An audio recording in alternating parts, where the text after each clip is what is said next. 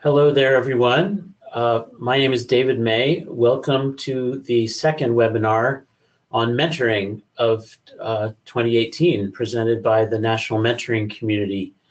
The National Mentoring Community, or NMC, is a program of the American Physical Society, APS, and it aims to help provide support to undergraduate physics students who are from racial and ethnic minority groups as they make their way to degree completion.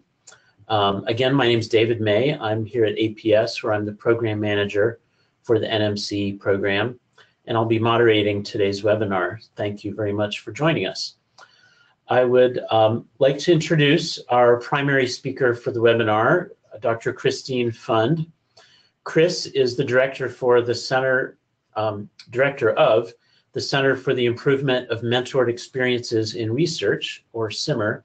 She's also the PI and director of the Mentor Training Core of the National Research Mentoring Network and an associate scientist at the University of Wisconsin-Madison. Uh, she will also be joined um, periodically um, by Dr. Melissa McDaniels, who's an assistant dean at Michigan State in the graduate school. Uh, Melissa is also co-director of the Master Facilitator Initiative at the National Research Mentoring Network and is an affiliate of CIMER. So Chris and Melissa will be presenting the webinar in a mixture of formats, and I just wanted to orient you to that. She will present a traditional slideshow, but also pause several times to get feedback from all of you. And of course, you'll be able to ask questions. So to help you interact with her at these times, here's a really brief rundown of what to expect um, in case you haven't used this platform before. So you should all have a window that looks something like the next slide, um, which has is titled the Go-To Webinar Control Panel. There it is. And uh, for this panel, we're actually going to use the first two things that are circled there, the questions and poll. Um, but not we're not actually not going to use the chat function because that's not supported for you participants. So first, the questions box. In the questions box, you can ask questions at any time during the webinar by typing them, typing them into the box. Um, those of us uh, moderating and presenting will be reviewing these questions as they come in and may either answer them in writing or save them for, for Chris and Melissa to answer uh, later on when they get a chance during the webinar. Uh, you should also use this box for short written responses when Chris asks you some questions, which she will do. Um, and then on the next slide uh, is about the poll function, which works like this. We're just going to do a quick practice run. Um, so please give a quick answer. I just picked up, picked some random colors. Doesn't matter what you answer, just choose one right now real quick.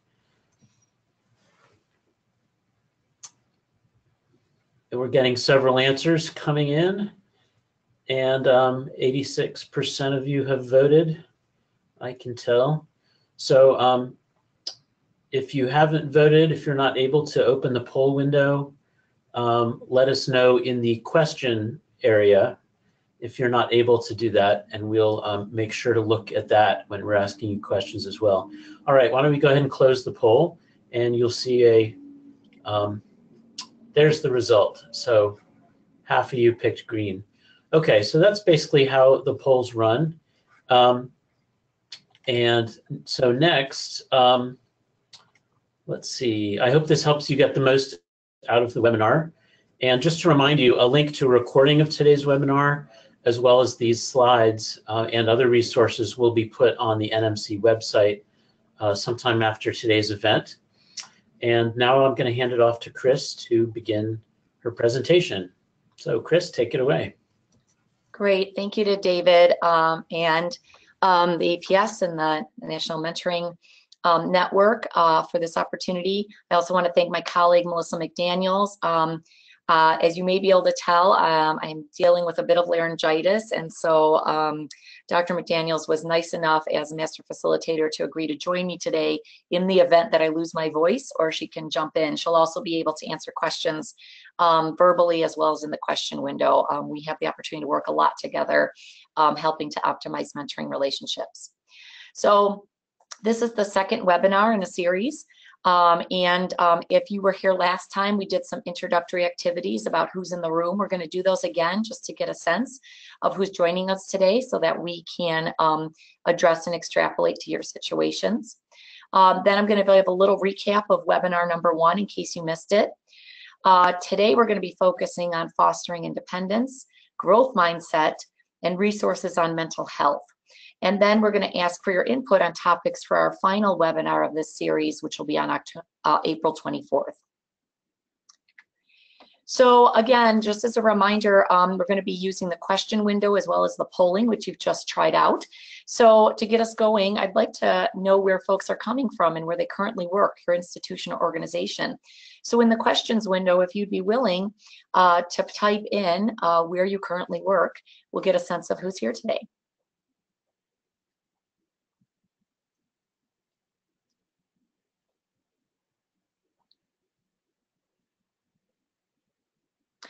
Sarah, will you please remind me if everyone's able to see everyone's answers or if we need to recap those verbally for everyone?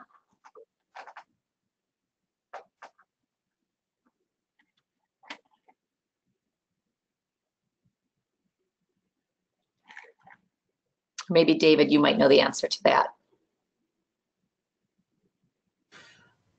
I do not remember the answer to that, I'm afraid. Um, I'd be happy to read them off real quick. Great, that would be awesome. Thank you. Oh, they cannot see them. Yeah, if you could just read them off, that would be great and save my voice a little.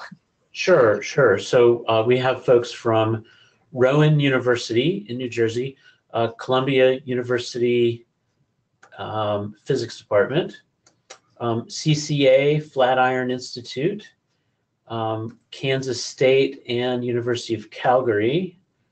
Um, sorry, I have to keep resizing my window um, another from Ro Rowan University, uh, California, um, Cal Poly, San Luis Obispo, um, Chamorro University of Aquas, not sure where that is, um, American University, uh, let's see, someone from a four-year private liberal arts university, didn't say which one, University of Dallas, uh, Texas State University, and um, that's it.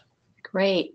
And I'm here at the University of Wisconsin-Madison, uh, as um, David uh, let you know, and Melissa is from Michigan State University. And it looks like University of Dallas uh, was that for your private um, in the physics department, Jacob. Ah. Wonderful. Thanks so much for reading those off. Great. So let's do a quick poll to kind of get a sense of who's here today. So I'm curious what career stage all of you are at. So you can use the poll and I'll launch that. Give us a sense of what career stage folks are in uh, who are participating today.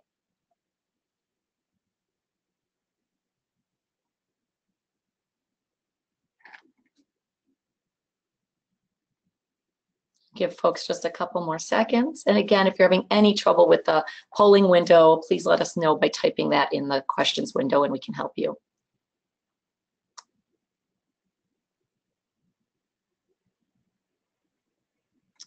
All right, great. So let me share those results with you. So as we might expect, uh, the majority of folks here today are faculty, um, as this was a reach out um, to a lot of faculty who are mentoring, um, but very happy to have graduate students who are often often engaged in mentoring undergrads and other uh, graduate students as well. So wonderful. All right, so I'd also like to know um, how many folks um, you're currently mentoring. And if you're not mentoring anyone that's now, that's absolutely fine.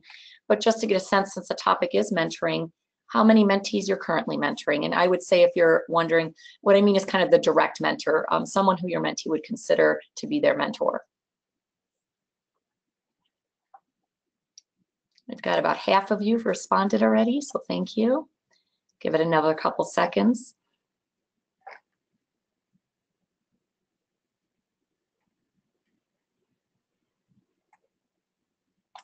All right, great. So what you can see here is we've got about half folks mentoring a lot of mentees, more than four. Um, about a quarter of you who are not currently mentoring, you may have mentored in the past or might be waiting for a future opportunity. And then a couple folks one and two, so thanks. All right, so one more question here. uh, what are the career stages for those of you who are mentoring? What are the career stages of the folks you're mentoring?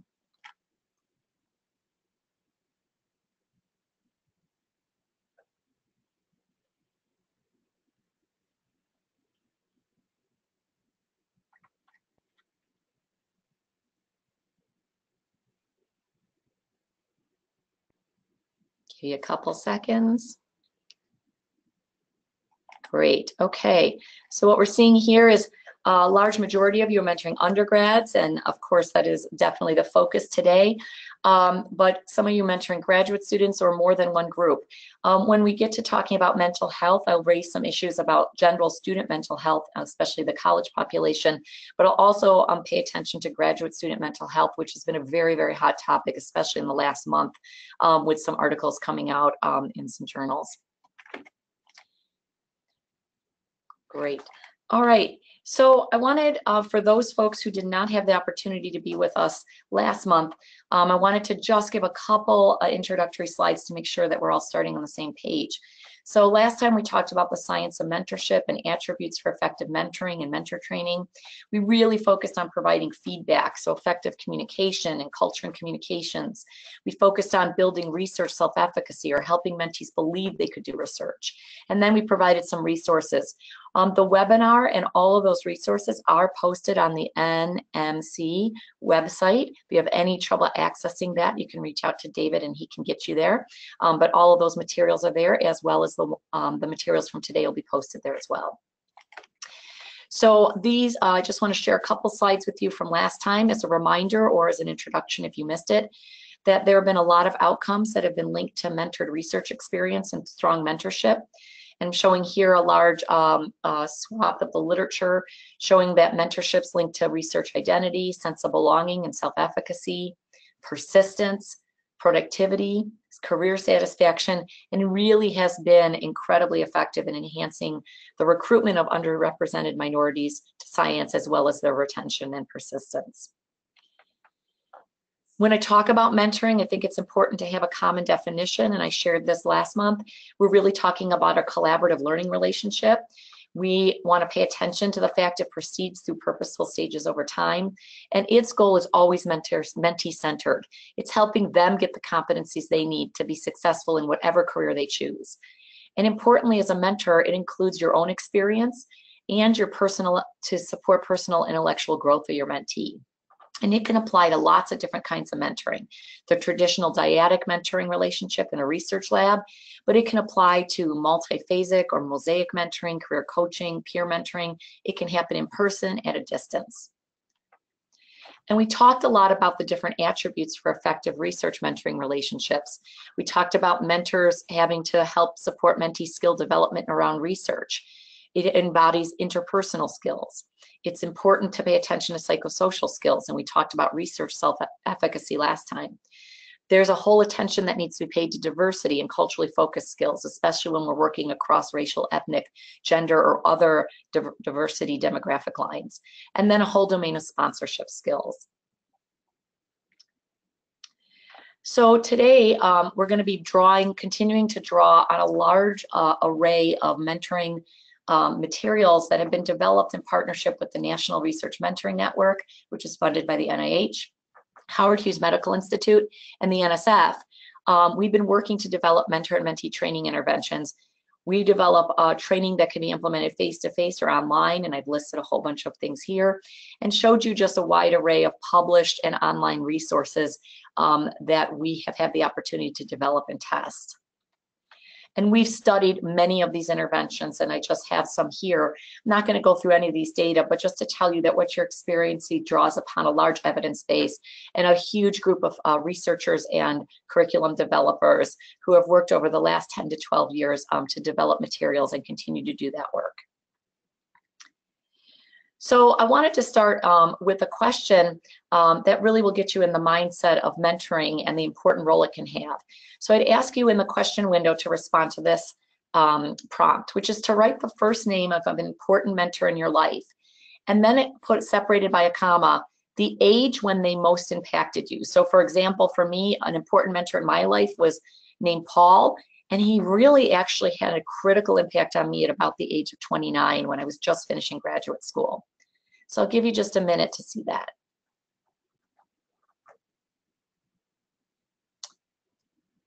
So thanks, David uh, is the name of a mentor at the age of 20. I won't read all the names, but I want to get a sense of uh, names, gender, and age.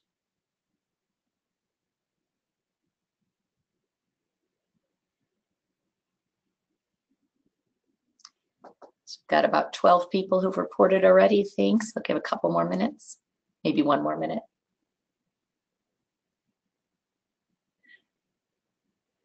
I like how Jeremy, you have an exclamation mark after the age of 40. I think it's always important to know we're always still being mentored, not knowing your current age, but lifetimes of mentors. All right, so um, thanks for sharing. What's really interesting is the diversity of um, names and ages. What I can tell you is that a large number of the names shared were of the were typically male names. I only point that out not to um, uh, make any judgment about that, but that tend, tends to be um, the makeup of the field in, um, in terms of its male dominance. And so it's not surprising that many of us in the field might have had male mentors early on. Um, the age ranges from 16 uh, to 40.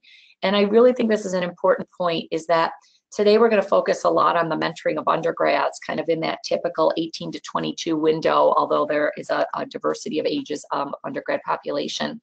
But that as graduate students, we uh, lean on mentors, maybe into the postdoc and into our careers now. Um, many of us still looking um, for mentorship and for that incredible impact. So um, I want to dive into the first topic that we're going to talk about today, which is fostering independence. So independence is a word that we often throw around when we're talking about mentorship. Many of us, I'm sure, have said, is my goal is to help enable and produce independent scholars or help people on their pathway to independence. We often tout that one of the um, things that uh, researchers have to achieve is a, is a, level of independence. We use the word of independence often when we write letters of recommendation for people as they think about moving from undergrad to grad school. We certainly include the word independence when we're talking about research proposals or promotion and tenure. So I want to unpack that a little bit. Um, and one way to do that, um, I think, is to first get around independence and sometimes some of the assumptions. So I'd like to start with a case study. And just to save my voice, I'd like to ask Melissa if she'd be willing to come on and read this. Um, and then when she's done, I'd like to invite you in the question box to share your initial reactions to the case. Hi there, everyone. Um, Chris, no problem. Fostering Independence, a case study. I'm working with a new graduate student and I just can't seem to get along with her. I told her at the beginning of the semester that I thought we should have weekly meetings to talk about her progress, and she agreed. At our next meeting, I asked her to run through the list of things she accomplished that week. She had no notes and seemed pretty unprepared for talking about her work in the level of detail that I expected. She's been canceling most of our meetings at the last minute. Either she doesn't feel well or she suddenly remembers an assignment for another class that's due the next day. I know that she's doing the work because at the few meetings she does keep, she has a lot to say, but her progress on the project is very uneven, both in time taken and in quality.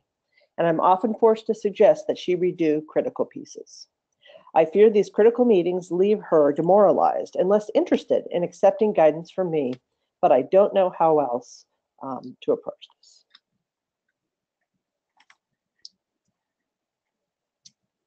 Great. Thank you so much, Melissa. So give me your first initial reactions uh, in the question window uh, to this uh, case study.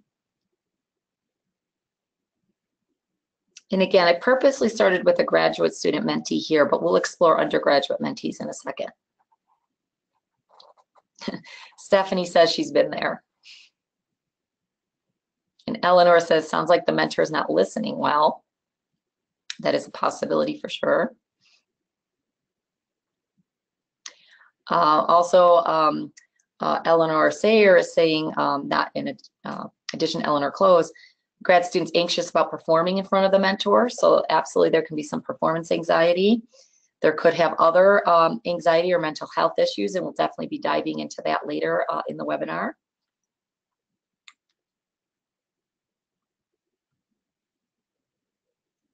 Uh, could be some, uh, Darcy saying some time management might be an issue.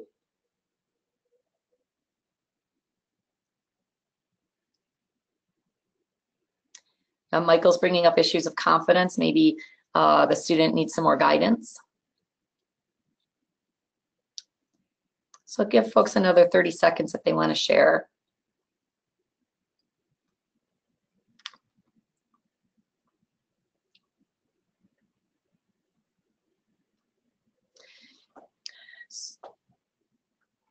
So Jeremy is saying they'd want to discuss the student, what they hope to get from the mentoring, to get input on expectations. Yep.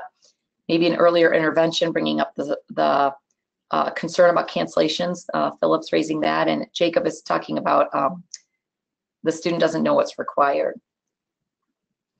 So this case brings up a lot of things about expectations. Um, and I think one of the important things is that we have this sometimes unspoken expectation about a certain level of independence, but it's not always expressed.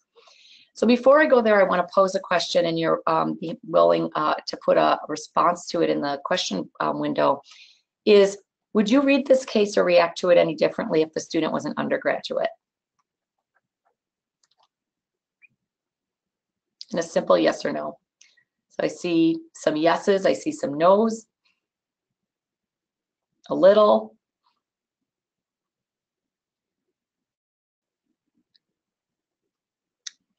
All right, we've got a 50-50 split right now in people saying yes or no. Um, Jeremy has said they'd have different, uh, probably higher expectations, more mature and reliable for grad students. But Eleanor say, say saying that uh, grad students are basically just undergrads with higher pay grade. So I raise that because I think it's very important when we're mentoring undergraduates, and then for those of you who are mentoring graduate students, to think about what we mean in terms of independence across those career stages. And so some of the questions that I'd like to pose, and you don't need to answer these in the question window, but as mentors to really start to grapple with how we define independence. And so what does independence look like for a first year grad student? a later grad student, a postdoc. And I put those later career stages in, uh, on purpose because what we expect from a first year grad student in particular has influence on what we expect from an undergraduate, especially those junior, senior undergraduates. And one of the challenges is to really come up with concrete indicators that a student on the path to independence would have to illustrate. So, and then would that list align with mentees? So let's use the case study as an example. If we were to ask a student, let's say a senior undergrad who's working with you, if we were to ask them, what are the expectations for your preparation for meetings with your mentor? How much do they expect you to do on your own ahead of time? How much do they expect you to follow up after the meeting? What would their answers be? And would those be anywhere in alignment for expectations you had given them about what you expect them to do ahead of time the other thing around independence, and this gets at conveying what level of independence you're expecting from them, is that often independence is this very vague concept. And so, and it's often interpreted to mean on your own. So I actually would like to get rid of the word independence completely because especially in the world of team science now, independence actually is counterintuitive. Uh, and so when an undergraduate in particular hears independent, what they often hear is I need to do it alone. What we often mean by that is we mean that you're taking it upon yourself to look for answers, talk to other people before you talk to me as your mentor. Or I'm expecting you to come in the door with articulate questions, questions you've thought about, questions you may have even tried to figure out yourself before you come to me so that I can see your process. So I raise these questions because as mentors, one of the things that we'd like to suggest is that you take some time in your practice to really think about what independence looks like concretely for the career stage of mentees you're working with and to ask them what they think, what they think independence would look like, what they think they have to be able to show you um, that they, in terms of their path to independence, how they define independence, and then to have a discussion about where there's a match and mismatch. So I want to pause there um, and just give folks a second um, or two, if they have any re reactions or questions about that um, in the question window.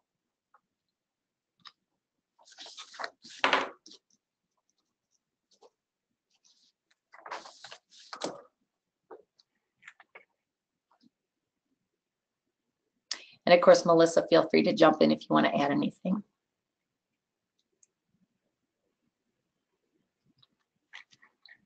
Interesting. Um, I will jump in here. Looks like Eleanor is very interested, and this is maybe something we can talk about in our later, in mentees who are not students. Interesting. Yeah. I'm not, so can you give an example um, of, of who, the mentees that are not students or would they be interns from another um, area? Eleanor, could you type something in there?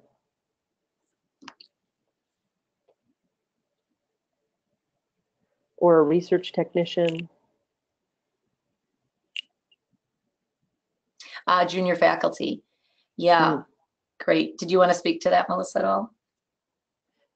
Um, you, Okay, I can't. Thanks. So yeah, so when you're mentoring folks from different institutions, um, that can be a different set kind of relationship. You're usually probably find yourself in the role much more of career mentor. Although if you're working on a joint research project, you border it probably on mentor slash collaborator. Um, and when it gets around independence, one of the things um, um, in terms of um, mentees who are not your students is really around what is expected of them in terms of advancement. And so this word independence gets thrown around all the time for junior faculty on what you do on your own. So um, I actually can um, share with you, um, maybe Matt can send me your email if, if that's okay with you, um, some really interesting articles about that uh, in terms of mentoring junior faculty. I see Matt has also asked the level of independence for undergrads.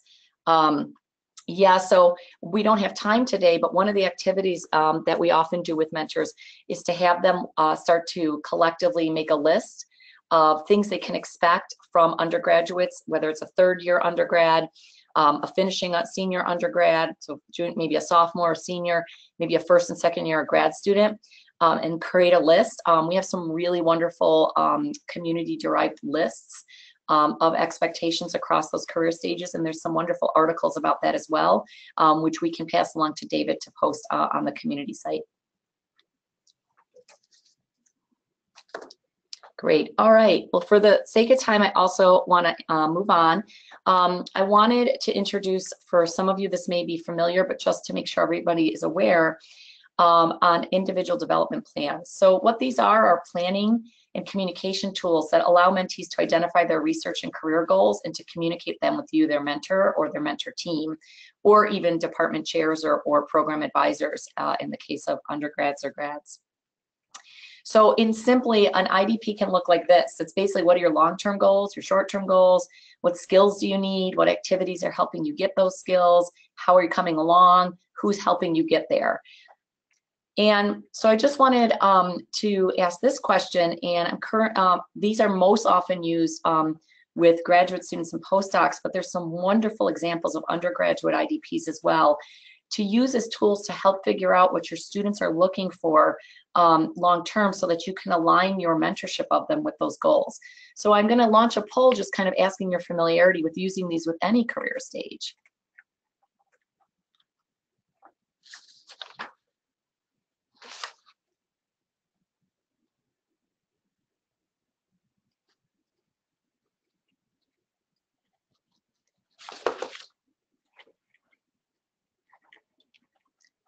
Great.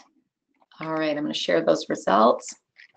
So it looks like about 70% of you haven't used a formal template, but you regularly talk about um, career plans.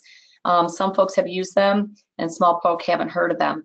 So what I'd like to share with you um, is that, I'm sorry, um, uh, and again, this will be posted um, on the mentoring website, um, is that there are a collection of IDPs um, the Science Career at My IDP is a really wonderful website that takes students through skills and interests and helps them determine kind of their next step in their career goal.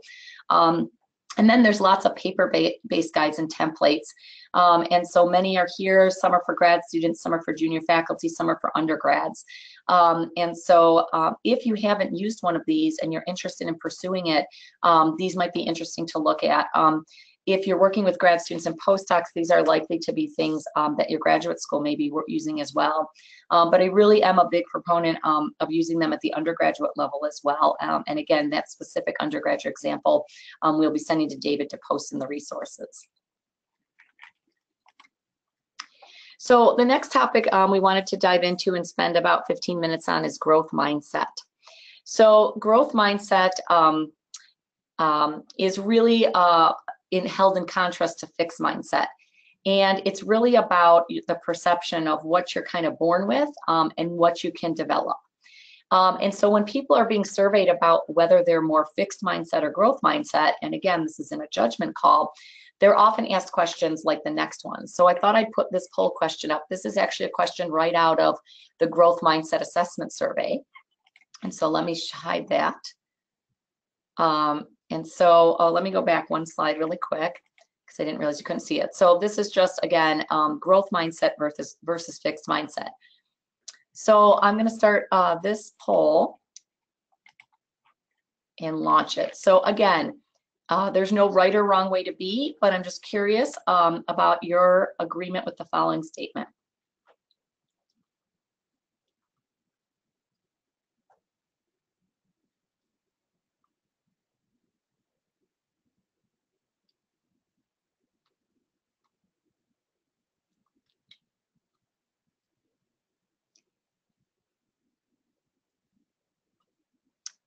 All right, so I'm going to close that poll and share it with you. So what we see is um, a lot of folks almost half disagreeing um, that you have a certain amount of intelligence and you can't really much change it. Some strongly agreeing and some folks agreeing with that, that there's a certain amount of intelligence. So these are the kinds of um, questions I think that help us think about our assumptions about intelligence and kind of um, dive into the mindset um, that we come from as well as considering and reflecting upon the mindset we're using when we work with students. So um, just to give you a little background, so growth mindset's really the idea that intelligence is not fixed. It really thinks about the brain as a muscle and that knowledge and skills can be gained with effort and practice. So stu students who maintain a growth mindset, they tend to view intelligence as malleable and something that can be improved, while those with fixed mindsets believe intelligence is relatively unchanged. So you might consider a quote of, I can't complete this skill yet, but if I work hard and use resources available to me, I'll succeed. And that would be a growth mindset. Consider versus someone saying, your intelligence is something about you you can't change very much. Now, there are folks across the spectrum in where they fall on this growth or fixed mindset spectrum. Um, but it's something that you may have heard about and something that I think is really important to explore as mentors. So some of the um, research that has come out over the last decade um, has really shown that a fixed mindset is more likely um, to experience stereotype threat and lower performance. Now, this might make sense because if you believe that intelligence is set and not malleable, then if you believe that a certain group um, tends to perform less well or historically has performed less well in a given area, and you believe that you cannot improve in that area, you're going to experience that stereotype threat, the belief that, in fact, you will meet the expectations of the given group. Now, if you have a growth mindset, the mind like a muscle, they tend to see higher semester grades and better math performance, and there's a lot of research showing that as well. So when we think about our role as mentors, growth mindset is often talked about in the context of a classroom um, and what teachers can do and teachers' belief in their stu students' ability to learn. But mentors can really help mentees develop a growth mindset in three ways, cognitively, socially, emotionally, and identity development. So you can play a very interesting role in helping mentees to think about how they can grow cognitively, but also how they can grow and learn what's happening around them socially and in terms of their emotional intelligence. And you can help them in terms of ways of thinking about how they can change and thinking about how their identity may change as they um, uh, spend more and more time in the uh, research arena as undergraduates and then if they go on to graduate school. So we wanted to share with you a couple concrete strategies that you might consider to help your mentee develop a growth mindset. So one is that if in fact you yourself have a growth mindset or you at least reflect on that, you can model that. So just sharing your own experiences with adapting a growth mindset can be really powerful for your mentee. talking about situations in which you really struggled with something. You didn't think you were smart enough to understand it. You didn't feel like you had had enough experience to socially um, fit in uh, in that particular academic climate, um, where you didn't feel like a scientist and you didn't believe you ever would. Those experiences and showing them how you worked through that and were able to grow and now feel smart enough now feel like you socially fit in the academic enterprise, now feeling like you are a scientist can be incredibly powerful in showing them that not everybody starts out that way, that you can grow, it's malleable, it's attainable. The other thing is that you can teach mentees about growth mindset and the importance of having a growth mindset in undergrad and grad. Um, I particularly pulled out graduate school here um, because of one of the most recent articles um, that'll be in the resources, but this is across the career spectrum. So one is to simply share this really wonderful seven minute video from Carol Dweck, who's really the kind of guru on growth mindset. Um, I also included here, and they'll be posted in the slides um, that David will post, a blog from GradHacker, which talks about grad students and fixed versus growth mindset. Um, and then a wonderful um, online uh, resource on changing your mindset, which is focused across career stages. And so here's some ideas from that last website about um, really um, encouraging mentees. So you can encourage your undergrad mentees to hear, learn to hear the fixed mindset voice. For example, if they say to themselves, I'm only as good as my achievements, that is going to come from a fixed mindset. Um, and you might encourage them to think about, but wait, can you also be as good as your progressions, as each step forward? Helping them recognize they have a choice and that they can admit they're struggling. It doesn't mean they're inadequate. This is really, really important um, when we're working with students um, from traditionally underrepresented groups who may feel that they haven't had adequate preparation. It does not mean that they're not capable of it. It may simply mean that they haven't had a chance to work through it yet. You can encourage them to talk back to their fixed mindset with a growth mindset voice saying, with effort, I can do something I find difficult and it difficult and it'll get easier. I think a perfect example of this is the first time you ask an undergrad mentee to write something um, and you end up red penning all over it is saying with effort you can get better to the point where actually you're going to be writing things that don't need 20 drafts. They may only need two drafts. It takes a long time but you can get there. And finally taking a growth mindset action um, is um, uh, yeah using a green pen was put in there uh, i think the red pen green pen is actually a wonderful change of practice um, taking the growth mindset action. So put yourself in a new situation that's uncomfortable can also mean that you're learning. Many times undergraduates for their first time in a research lab, and then even when they go on to graduate school, if that's their choice, it's an uncomfortable new situation. And that can mean they can feel like they don't fit because they don't believe they're good enough to be there. And saying discomfort can often mean that there's just a lot to learn. So we wanted to share this with you today because I think that there are some very straightforward things and simple things you can do to have students that you're working with, mentees, not believe that their fixed mindset is the only way to go, that they're actually, if they take this growth mindset um, and question that voice, you role model that for them, you give them some resources and tell them that you're interested in thinking about growth mindset that can really overcome a lot of the negative voices and messages they tell themselves. So I'm going to pause there before we go on to the last topic in case Melissa would like to weigh in on this at all, or there's any questions or comments which you can put in the question window. Chris, I, I will ask you a question.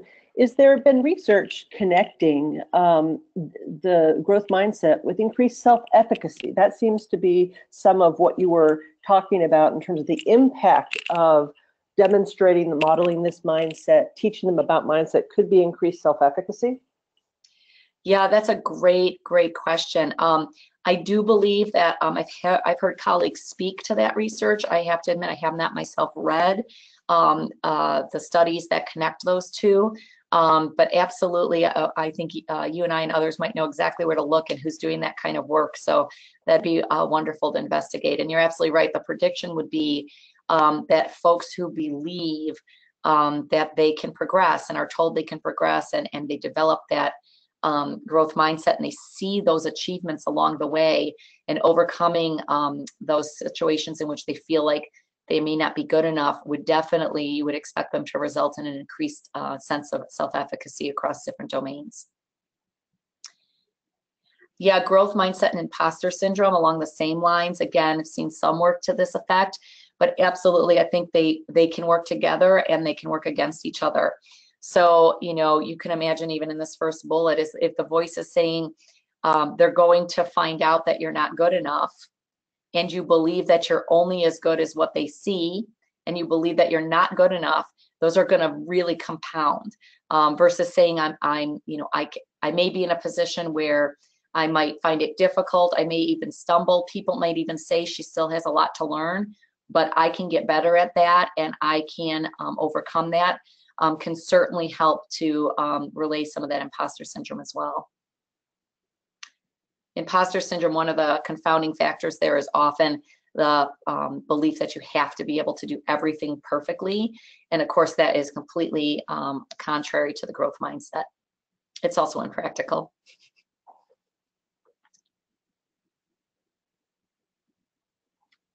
All right. So um, in uh, the next topic and the last one we're going to talk about today is mental health and mentoring and resources. Um, and so I just first want to say that this is not my area of expertise, um, but it is a topic that uh, my colleagues and I have been asked more and more about um, in the realm of mentoring. Um, and so I'm going to be drawing heavily um, on materials um, from my colleague, Dr. Angela Byars-Winston, who Melissa and I have had the pleasure of working with for quite a few years, um, who actually is a counseling psychologist by training, but studies um, persistence and mentoring. Um, and so um, in other trainings we've done across the country, we've started to include some of um, this information in these resources. Um, but I definitely want to acknowledge that this really comes from her domain of expertise. I know Melissa has been doing some work in this domain uh, in the work in the graduate school um, as well at Michigan State, and I'm sure we'll have some uh, thoughts to add uh, as well at the end of this part. So I thought I'd start out, this is our final polling question, um, just with this uh, question, which is about how prepared you feel to deal with undergraduate students who experience mental health issues. And when I say mental health, I don't just mean clinically diagnosed mental health issues. I am also speaking about general anxiety, um, uh, low levels of depression, um, as well as just a lack of well-being.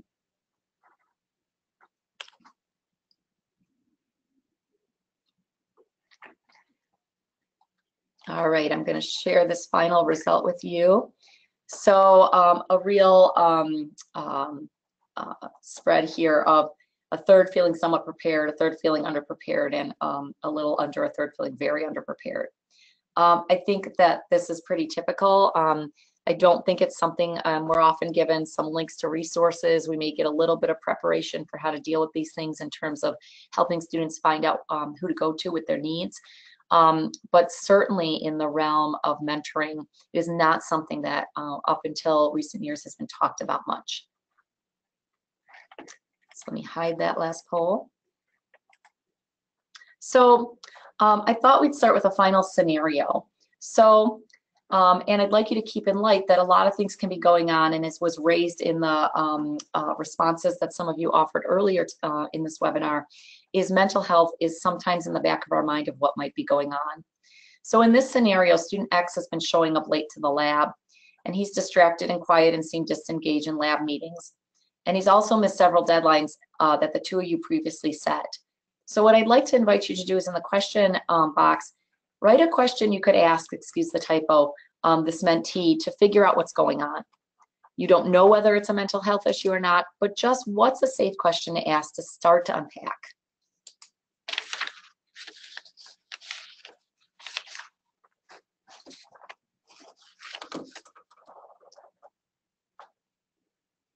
Maybe let's get five, how about five questions people think that would be good to ask?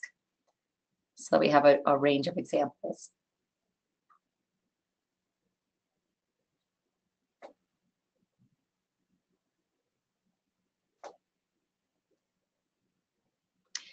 So seeing, you know, just a general, how are you doing? Um, seeming quiet today. How's lab or research going? How's your week been? How are things going? Everything okay? Would you like to talk about anything?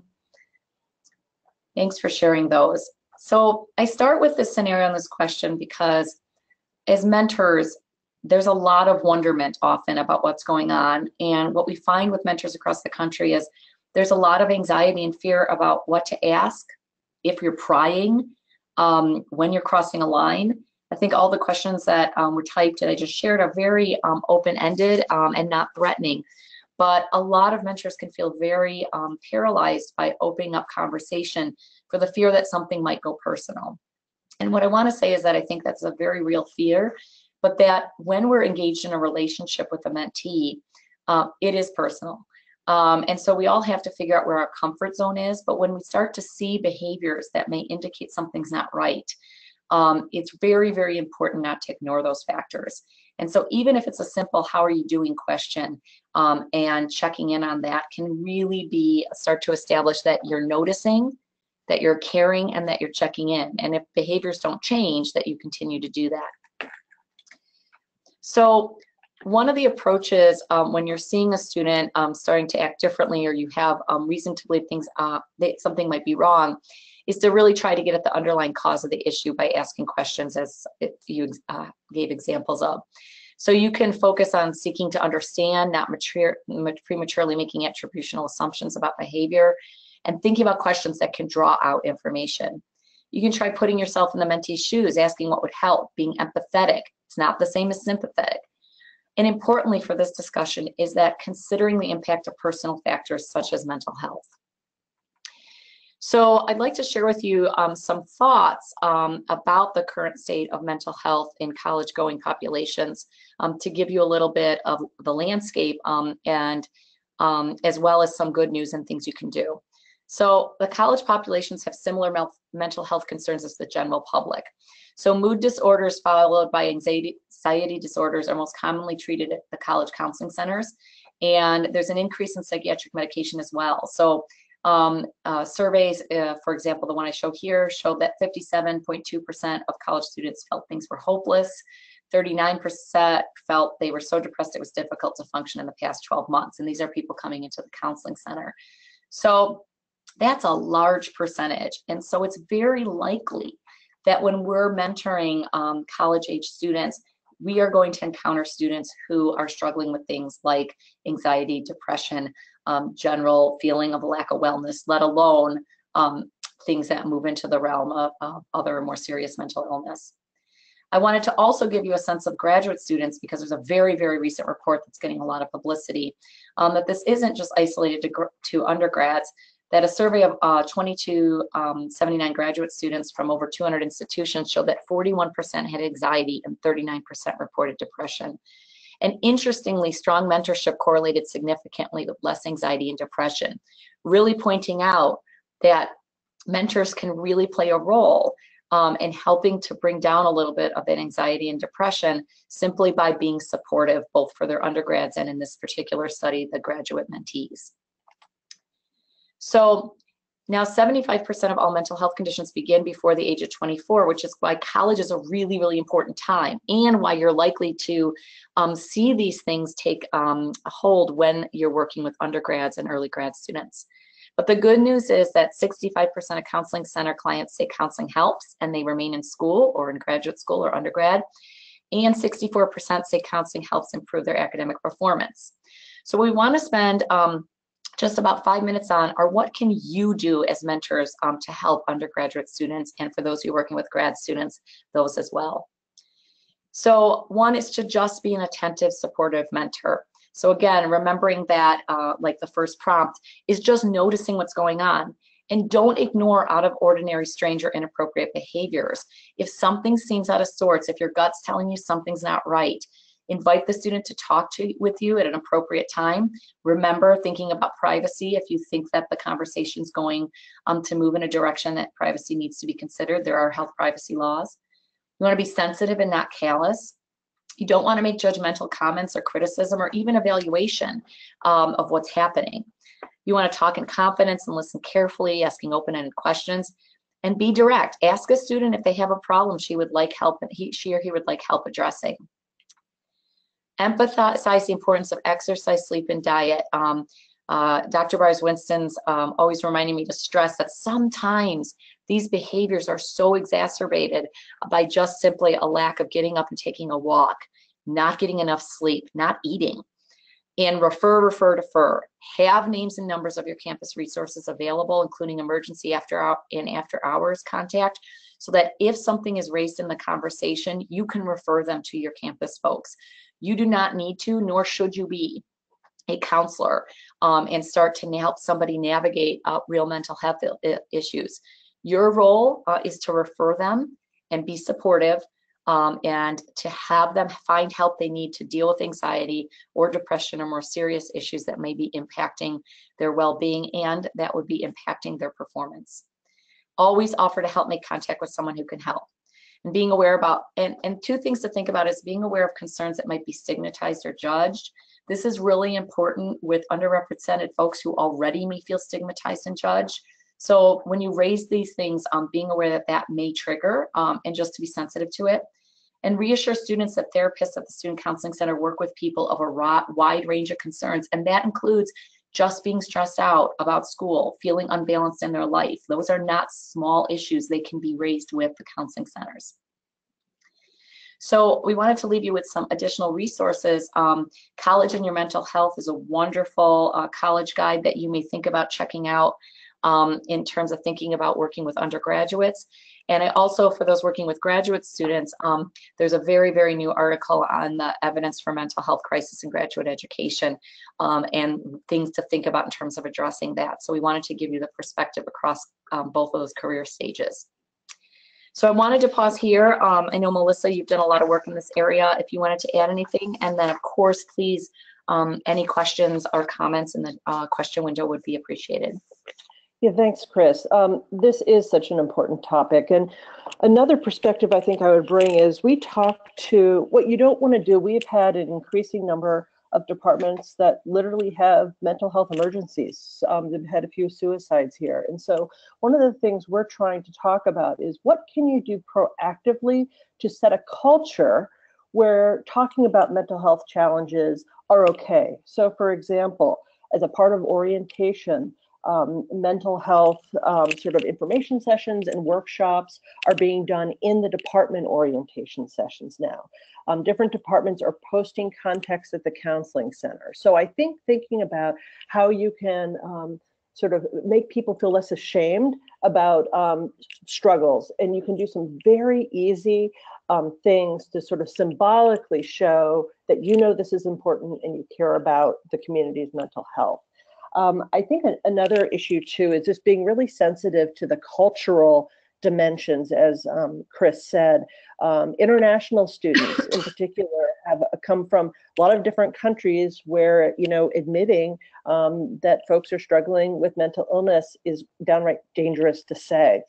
Um, I know in our counseling center, we have some incredible experts. So in addition to sort of doing some of these um, things to impact the broader culture and messaging in the department, educate yourself. Um, walk over to your counseling center if you have not been there um, ever or in a while and ask them, you know, if I have a student in my lab who um, seems to be struggling, what will happen when they get here? So you can sort of set the expectations um, and talk to the student in a way that you confidently can say, you know, th this is what's going to happen when you go. Um, I've seen people start to walk folks over. So I think the degree to which you can, number one, educate yourself about the resources on your campus and your community, um, but also, again, modeling um, what it means to have a department, a lab where mental health is something that's talked about um, and where folks, um, you know, don't have to be ashamed when they have challenges. Thanks, Melissa. Yes, Stephanie posted a question about, you know, a situation where a student is going through a mental health issue and wants to take extra time to address it and wants to know if, if the student can continue to work um, with uh, Stephanie as a mentor. And how do you strike that balance between supporting a student to take time away and trying to get research results produced? And I'm so glad you asked that because that's really where the rubber hits the road. It's so difficult. You want to be supportive. Um, you want to give people the space and the time they need to deal um, with their needs um, and what has happened. Um, you, in many cases, um, you want to, you may even be wanting to give accommodations um, to do that, have that be supported, but you also have things that need to get done. And so a couple things, again, just paying close attention to time that I want to raise is one is you don't have to navigate this alone. So um, uh, most campuses have employee assistance centers or have centers where they can you can go to um, to get uh, trained professionals to help you navigate these um, complex interactions which have to deal with accommodations and legality of that with disclosure and with productivity and so i will say from personal experiences i spent many years thinking i had to figure out how to navigate this on my own thinking i was you know a sensitive person and so it'll be okay what I have learned over the last five years is that even with my best intentions and myself learning, uh, that the professionals are incredibly helpful in navigating this because they can speak to things like when is it an accommodation? When is it not practical? When is it going to be good for the student, but actually damaging for the rest of your lab and the productivity? What are the consequences it's going to have on the rest of the group? Let's say you have a lab group and you have one person who's taking uh, undergrad is taking a lot longer and the other undergrad is getting resentful now. These are things, it's a very complex, it's a situation. And so what I really encourage you to do is to seek advice from people who see these situations all the time. Um, and if you don't know who that would be on your campus, um, I'm sure that um, you can find out. I was surprised there's a whole unit on our campus and they are incredible.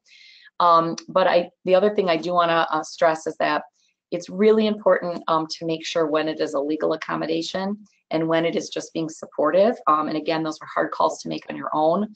But if it is just being supportive, that when you choose to do that, it has implications on the rest of your team if you have a team. Um, and so that is without disclosing um, confidential information, it's important to talk about with the team um, the need for different people having different needs and different timelines um, and different um, over time and that they may be in a situation in which they need that too so that people don't start to make judgment calls or start to feel resentful about how certain people have accommodations and others don't. It's something i've struggled with myself. It's very touchy. I've asked for a lot of help um, but i think it's really important that it's not just between you and the student. The specifics are but it's actually important on the whole climate of the group you work with yeah, Chris, and I'll just really quickly add for those of you who are working at universities, one of the things that graduate students and undergrads often have to developmentally learn how to do, especially if there's some longer term mental health issues, is to seek accommodations and seek those from a resource center for persons with disabilities. So actually, if someone is asking for an accommodation, at least at my institution, there is a very formal process that they go through. So some of what I've had to do is say, telling students actually, yes, obviously, willing to accommodate, but I'm going to need some guidance from the resource center to help me decide, um, you know, and you and I decide what the best accommodation will be. So again, I think encouraging people, if there's some more longer term things, to um, seek out support. Thanks, Melissa, for saying that. Yeah, especially if your undergrads are taking research for credit, they fall under that umbrella of coursework accommodations. Um, and so, in most institutions, so that's a really good point.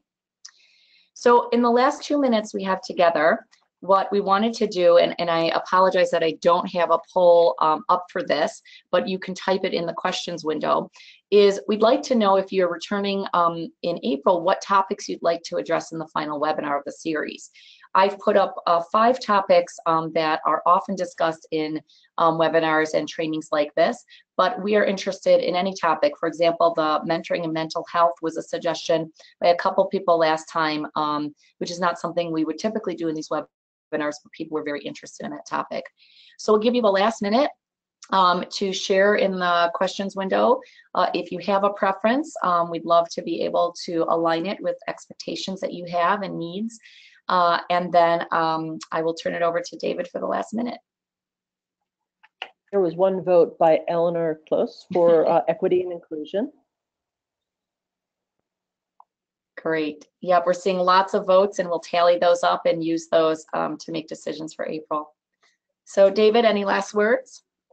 Yes. Um, hello, everyone. Thank you. Please uh, continue voting there if uh, you haven't already.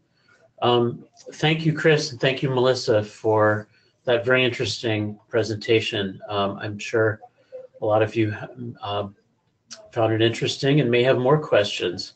Um, this is all the time we have today for this webinar. Um, but we do welcome you to follow up with either me or Chris on any remaining questions you might have. And of course, please um, uh, join us for the April 24th webinar if you're able. Um, as I said, a recording of today's presentation and a PDF of the slides will be put on our website as well as the other resources that Chris mentioned. And um, there are actually already a number of resources on the site from uh, last time's webinar, um, last month's webinar. Please spread the word to your colleagues if you know anyone who might be interested. Um, you don't have to have been at any of the previous webinars to be at the one on April 24th. Um, so we, I hope to email you within the next week to let you know that the resources are online, but feel free to check back anytime. Um, and I think that's all I have. Oh, I should uh, make a quick plug though. We are having a, a conference in November, the National Mentoring Community in conjunction with the um, APS Bridge program for uh, getting students into graduate school um, are having a joint conference um, in Stanford at the, at the Stanford campus. Actually, part of the day will be at Google headquarters um, the weekend before Thanksgiving.